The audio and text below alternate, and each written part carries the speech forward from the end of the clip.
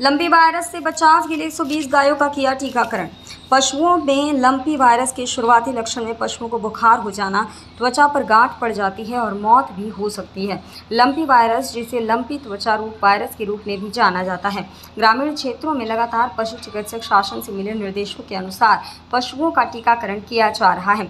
इसी के चलते ज़िले के अंतर्गत पिपरिया पंचायत में बुधवार को 120 गायों का टीकाकरण, सहायक पशु चिकित्सक राम सिंह, विजयपुरिया, विनोद कुमार दोहरे और विकास सिंह द्वारा किया गया, जिसमें गौ सेवक भरत रघुवंशी राम सिंह सौरभ मोती सिंह लाला रघुवंशी अर्जुन रघुवंशी सहित ग्रामीणों द्वारा टीकाकरण के कार्य में सहयोग दिया गया। बताएँ आप किस लिए आए थे इस गाँव में?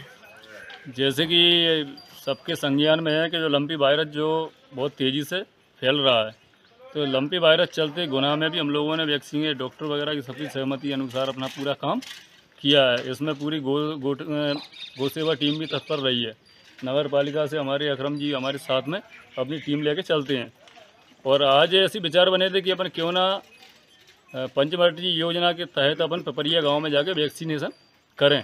तो यहाँ से भी बहुत शिकायतें मिल रही थी। लंपी वायरस वाली जो गाय थी, वो भी आज हमने देखी हैं। पाँच सात गाय पाई गई हैं।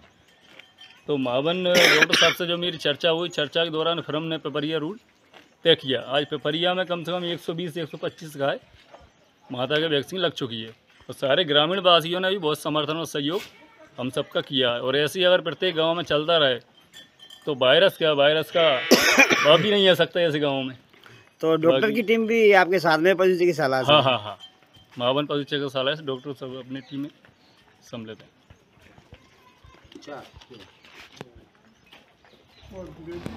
अपडेट मीडिया के लिए गुना से इद्रीस मंसूरी के साथ अभिनय मोरे की रिपोर्ट।